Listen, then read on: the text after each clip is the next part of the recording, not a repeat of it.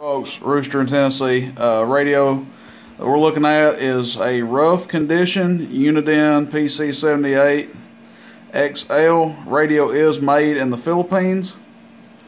Uh, it is in rough shape, just to be up front. It is a functioning radio, but it is in rough condition. Um, it's basically got all the features of like a Cobra 29 LTD Classic.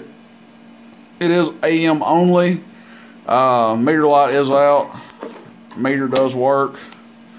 Um, it's got some corrosion on the back, which I'll try to show you here in a second. I also didn't think this radio would work.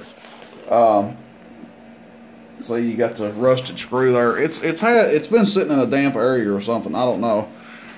Um, but kind of the the point, you know, of doing a video, video on this radio, kind of as a little side note, I guess you'd say is uh, if you had a radio that was built today that was in this kind of shape and had been uh, exposed to these conditions, conditions rather, excuse me, um, you're going to have a, a non-working radio, and I don't care who built it.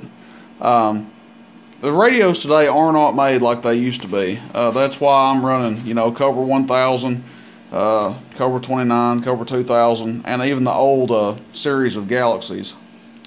But uh, this is a working radio, and it's been through hell, uh, to put it nicely, you know, judging from the looks.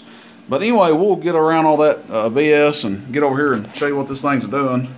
25 watt slug, top scale, 5 watt, 10 watt, 15 watt, 20, 25 watts.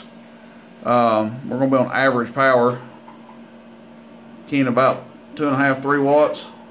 Hello, radio, audio, one, two, three. Hello, test, one, two, three. Audio, five watts average.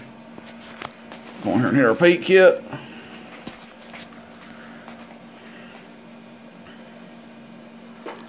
Hello, radio, one, two, three. Hello, audio, radio, one, two, three. Kind of waving between about 17 and 20 watts. Hello, you can probably hear it in the background. That's it uh, I'm gonna pause the video, turn around show you how rough this thing is on the back. I will sell this radio and I will sell it cheap to somebody. Uh, it'll probably cost 10 to 15 bucks to ship.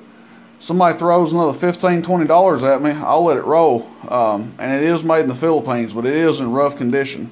Give me a second, I'll pause this and I'll give you guys a shot of the back of it here. Okay, so this is the back of the radio. It does have corrosion, you can see. Uh, it's been wet or been in a damp area, but it works. Um, it does receive. I'm not sure how well it receives. Uh, only way I tested the receive is I uh, I just unplugged the coax out of it, hooked another radio up to the dummy load, and keyed it on the uh, same channel, and it received. But uh, that's it. See, made in the Philippines. And now there's a gentleman tried to argue with me the other day, and he said, well, all those Unidens were made in the Philippines. Not necessarily. Uh, some of these were not made in the Philippines, actually. They were made in China, so this one is a Philippine radio.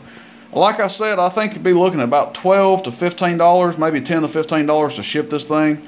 Um, if somebody gives me an extra $10 on top of that or something, I'll let it go, and you'll have a working CB uh, on the cheap, and you can probably restore it or or whatever because uh, you know fixed up it would be a good talking radio. Probably a uh, 75 80 dollar radio maybe. But I uh, hope you guys enjoy the video and uh, 73s bye bye